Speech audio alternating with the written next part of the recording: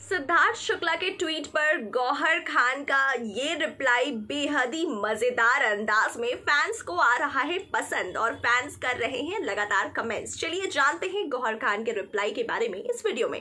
नमस्कार, मैं स्निग्धा, स्वागत करती हूँ आप सभी का हमारे चैनल पर। आपको बता दें कि सिद्धार्थ शुक्ला अब लगातार अपने फैंस के सपोर्ट को देखकर एक ट्वीट कर रहे हैं, घर से बाहर आने के बाद। उनका ट्वीट ये है कि वो सभी फैंस को धन्यवाद कह रहे हैं।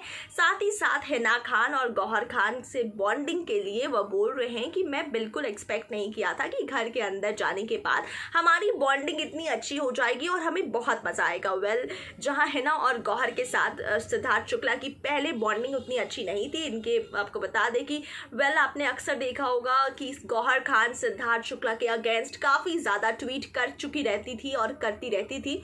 अब वेल घर के अंदर जाते ही वो इक्वेशंस और वो एंगल्स बिल्कुल बदल गए हैं। तीनों बहुत ही अच्छे फ्रेंड्स हो गए हैं और तीनों बेहद ही अच्छे साथ, एक दूसरे के साथ उन्होंने क्वालिटी टाइम स्पेंड किया है। ऐसे में आपको बता दें कि सिद्धार्थ शुक्ला सभी को थैंक यू बोल रहे हैं। इसी बात पर गौहर खान ने कमेंट किया है। Okay thank you so much I really enjoyed it but WhatsApp check करो अपना बिज़ी इंसान। ये लिखा है गौहर ने सिद्धार्थ शुक्ला को।